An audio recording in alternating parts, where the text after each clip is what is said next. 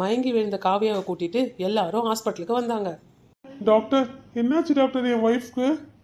நல்லா தான் பேசிக்கிட்டே இருந்தான். திடீர்னு மயக்க போட்டு கீழே விழுந்துட்டா டாக்டர். என்னாச்சு டாக்டர்? அவளுக்கு ஏதாவது பிரச்சனையா? அத்தை நீங்க ஒன்றும் டென்ஷன் ஆகாதீங்க. அதெல்லாம் ஒன்றும் இருக்காது அவளுக்கு. அவ காலைல இருந்து வேலை வேலைன்னு செஞ்சுட்டே இருந்து எதுவும் சாப்பிடாம இருந்திருப்பா. அதுக்கு தான் மயங்க போட்டு விழுந்திருப்பா. எதுக்கு எதுக்கு எல்லாம் டென்ஷன் ஆகிட்டு இருக்கீங்க நீங்க நினைக்கிற மாதிரி ஒன்றும் இல்லை.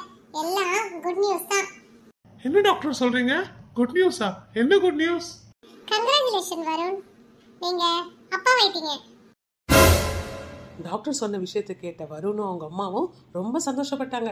ஆனா ரேணு ஷாக் ஆயிட்டா. டாக்டர் என்ன சொல்றீங்க டாக்டர் நிஜமாவே? நான் அப்பா வைத்தேனா? ஆமா மிஸ்டர் வருண். நீங்க அப்பா வைட்டீங்க உங்க அம்மா பாட்டி ஆயிட்டாங்க அவங்க பெரியம்மா ஆயிட்டாங்க டாக்டர் எனக்கு ரொம்ப சந்தோஷமா இருக்கு டாக்டர். உங்களுக்கு ரொம்ப தேங்க்ஸ் டாக்டர். ஐயோ என் மருமக முழுகாம இருக்காளா? எனக்கு பேரனோ பேத்தியோ பிறக்க போறாங்களா? இந்த சந்தோஷத்தை கேட்டு எனக்கு ரொம்ப ஹாப்பியா இருக்கு.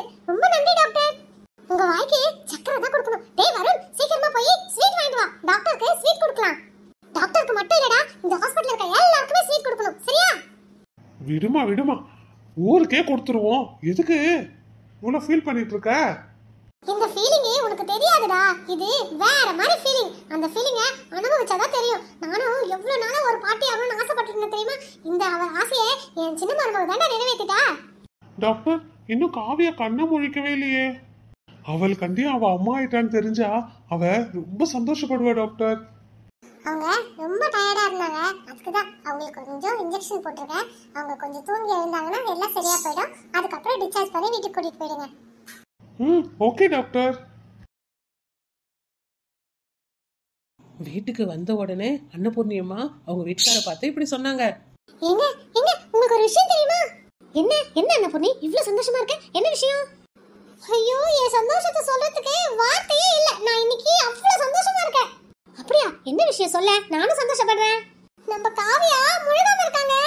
நமக்கு பேரனும் பேத்தியும் பிறக்க போறாங்க. அப்படியா? ஐயோ நீ சொன்னதை கேட்டு எனக்கு ரொம்ப சந்தோஷமா இருக்கு அண்ணா அப்படின்னு அன்னபூர்ணி அம்மா சொன்னதை கேட்ட பிரபாகரும் ரொம்ப சந்தோஷப்பட்டாரு. ஏங்க நம்ம ரொம்ப தப்பு பண்ணிட்டோங்க. இத்தனை நாளா நம்ம சின்ன மருமகளை நம்ம கவனிச்சுக்கவே இல்லை. நம்ம யாருமே அவளை சரியாவே புரிஞ்சுக்கல. அவளை புரிஞ்சுக்காம நம்ம அவளை ரொம்ப தப்பா பேசிட்டோம். நம்ம பெரிய மருமகளுக்கும் கல்யாணம் எவ்வளோ நாள் ஆகுது? நம்ம இந்த சந்தோஷமான விஷயத்த நம்ம கிட்ட சொன்னாலா ஆனால் நம்ம சின்ன மருமக வந்த சீக்கிரத்திலே நமக்கு இவ்வளோ சந்தோஷமான விஷயத்த சொல்லிட்டாங்க. கோடி கோடியா வரதட்சணை மட்டும் கொண்டு வந்து என்ன பிரயோஜனம்? ஒரு நாள்னா நம்மள அத்தை மாமான்னு மதிச்சாலா அவள் எப்போ பார்த்தாலும் மேக்கப்பு பார்ட்டின்னு சுத்திட்டு இருந்தாலே கண்டி. நம்மளை ஒரு நாளும் கவனிச்சுக்கலங்க. ஆனால் சின்ன மருமக வந்ததுலேருந்து காலையில் எழுந்தானா ராத்திரி படுக்கிற வரைக்கும் நமக்கு என்ன வேணும்னு பார்த்து பார்த்து செய்வா. நிஜமா சொல்றாங்க நம்ம சின்ன மருமக ரொம்ப மரியாதை தெரிஞ்ச பொண்ணு. நம்ம பணம் பணம் நினைச்சு சின்ன மருமகளை நம்ம கிட்ட சேர்த்துக்கவே இல்லை.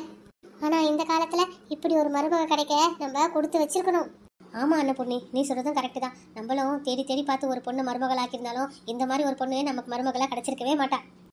அவளும் நம்மளும் பணம் இருக்கிற பொண்ணா பார்த்து கல்யாணம் பண்ணி வச்சிருந்தா அவளும் பெரிய மருமக மாதிரி தான் இருந்திருப்பா. ஆனா காவியாவை பெற்றவங்க காவியாவை ரொம்ப நல்லா வளர்த்துருக்காங்க.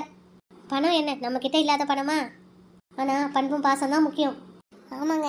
கண்டிப்பா நீங்க சொல்றதெல்லாம் உண்மைதான். இனிமே நம்ம சின்ன மருமகளை கூட நான் நல்லா பாத்துக்குவேன்.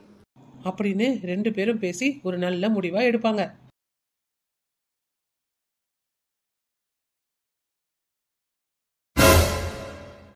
அவங்க ரெண்டு பேர் பேசுறது எல்லாத்தையும் பெரிய மருமக ரேணு படிக்கட்டுல இருந்து கேட்டுக்கிட்டே இருந்தா. இந்த காவியா நல்ல மாயக்காரியா தான் இருக்கா. அத்தையும் மாமாவையும் நல்லா வலையில போட்டுக்கிட்டா.